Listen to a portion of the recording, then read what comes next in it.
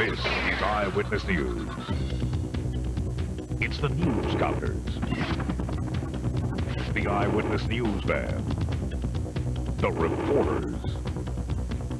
It's the weather coverage. The live coverage. It's your news source.